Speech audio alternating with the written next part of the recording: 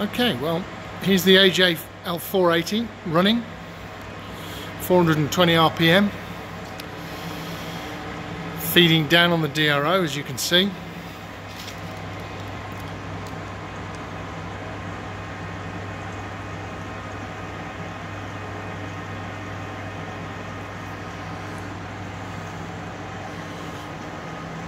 If we then stop the spindle, she has a brake setup which is nice for bigger jobs not too aggressive. You can hear the brake coming off and we can start her back up again.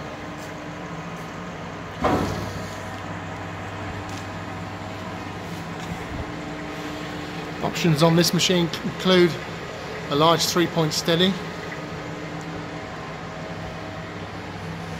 two speeds on the hand tailstock feed, a device to drag the tailstock rather than moving it by hand, a large four jaw chuck,